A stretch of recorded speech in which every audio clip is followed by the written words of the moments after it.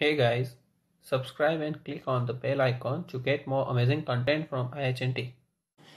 देखन में छोटा लागे घाव करे गंभीर। बहुत ही मज़ेदार कहावत है है ना? नमस्कार मैं हूँ जयश्री खत्री और आज के इस पॉडकास्ट में मैं आपके लिए लेके आई हूँ एक बहुत ही मज़ेदार स्लीपिंग स्टोरी जो है पंचतंत्र से।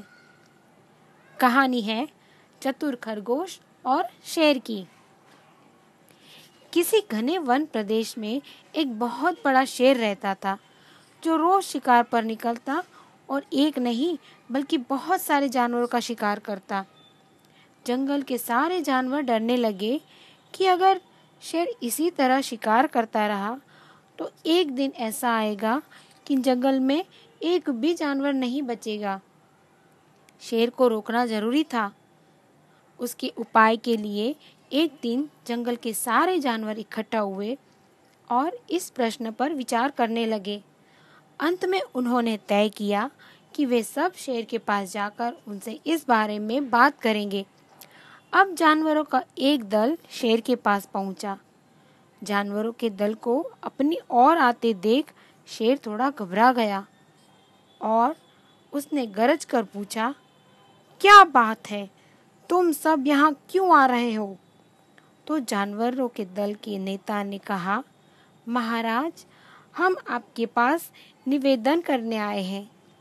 आप राजा हैं और हम आपकी प्रजा। आप जिस तरह शिकार करते हो, बहुत से जानवर मार डालते हो। आप सबको खा भी नहीं पाते। इस तरह से तो जंगल के सारे जानवरों की संख्या कम हो जाएगी। प्रजा के बिना राजा भी कैसे रह सकता है? यदि हम सभी मर जाएँगे तो आप भी तो राजा नहीं रहोगे।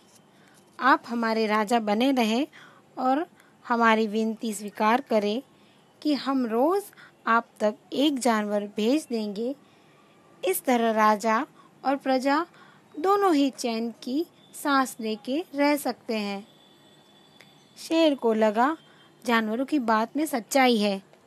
और बोला, अच्छी बात है, मैं तुम्हारा सुझाव मान लेता हूँ, लेकिन याद रखना, अगर किसी भी दिन तुमने मेरे खाने के लिए पूरा भोजन नहीं भेजा तो मैं भी जानवर चाहूँगा, मार डालूँगा।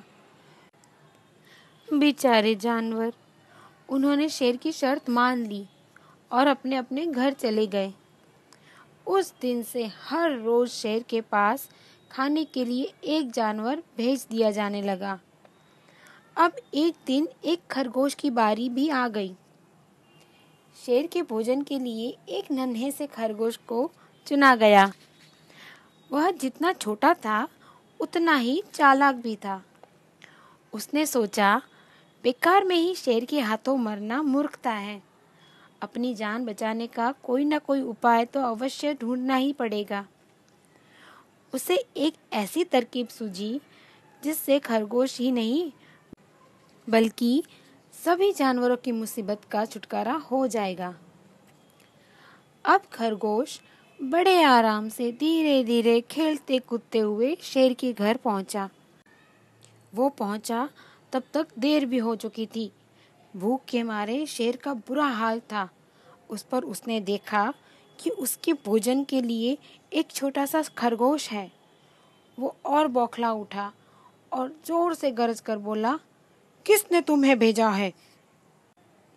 एक तो पिद्दी जैसे हो और इतनी देर से आ रहे हो। जिन बेवकूफ़ों ने तुम्हें मेरे पास भेजा है, मैं उन सबको ठीक करूँगा। एक एक का काम तमाम न किया तो मेरा नाम भी शेर नहीं। नन्हा खरगोश आदर से ज़मीन तक झुक कर बोला, महाराज, अगर आप कृपा करके मेरी बात सुन ले तो मुझे या और किसी जानवर को दोष नहीं देंगे। वे तो जानते ही थे कि एक छोटा सा खरगोश आपके भोजन के लिए पूरा नहीं पड़ेगा, इसलिए उन्होंने छह खरगोश भेजे थे। लेकिन रास्ते में हमें एक और शेर मिल गया और उसने पाँच खरगोश को खा लिया। इतना सुनते ही शेर दहाड़ कर बोला, क्या? क्या कहा? दूसरा शेर? कौन है वो? तुमने उसे कहाँ देखा? खरगोश बोला, महाराज, वह बहुत बड़ा शेर है। ज़मीन के अंदर किला बनाकर रहता है। और वह यह भी कहता है कि इस जंगल का असली राजा वो है। आप नहीं। उसने तो आपको मूर्ख कहा और कहा कि उस मूर्ख चोर को मेरे सामने हाजिर करो। मैं उसको बताऊँगा कि असली राजा कौन है। खरगोश की बात सुनकर शेर को बड़ा गुस्सा आया और वो बार बार गरजने लगा।